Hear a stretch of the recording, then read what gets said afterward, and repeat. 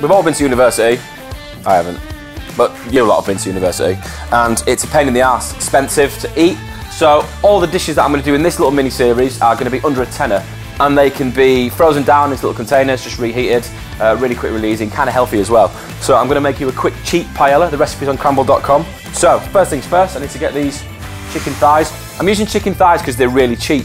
I'm just going to season these with a little bit of salt, and then some pepper, a little zhuzh of oil, and show off. So you want to brown off your chicken thighs, skin side down, get some nice colour on them, and then just season the top as well. So while they're browning, I'm just going to chop my red onions and my garlic. To get some peat tongs, which you'll probably have in your uh, student accommodation. Skin's nicely brown. So move the chicken to the side, to one side of the pan, to the cooler side of the pan, and then I'm going to get my garlic and my onion and get that in, brown that off a little bit. Keep your chicken skin side down as well. So I've got some chorizo here. It's just some cooking chorizo that I got from the supermarket. Just be careful with this because there might be a bit of skin on it. And if there is, if you don't take it off, what happens is it sort of tightens up and it's no good. So just score down the back, so cut it down the middle, don't cut yourself.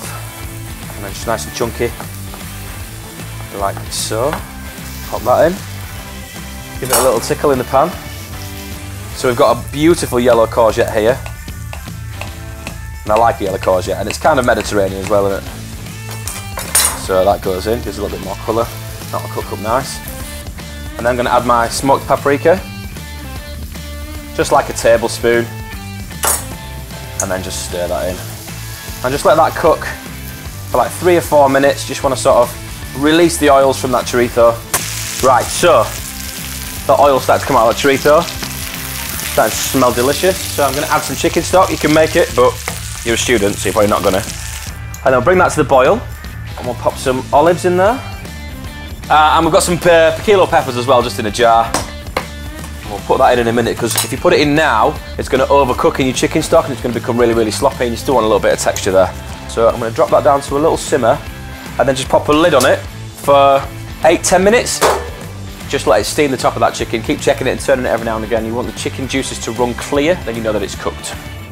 Uh, it's been there about eight minutes, so just flip them over. Get him on his worth. Way, student lads. Way and then you just want to reduce that liquor a little bit more.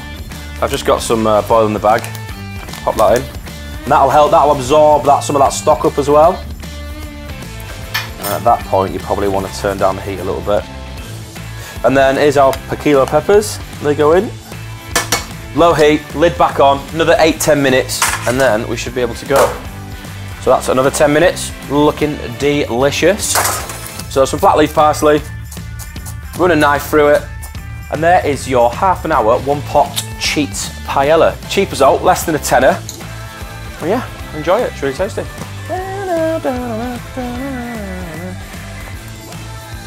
Fucking hot.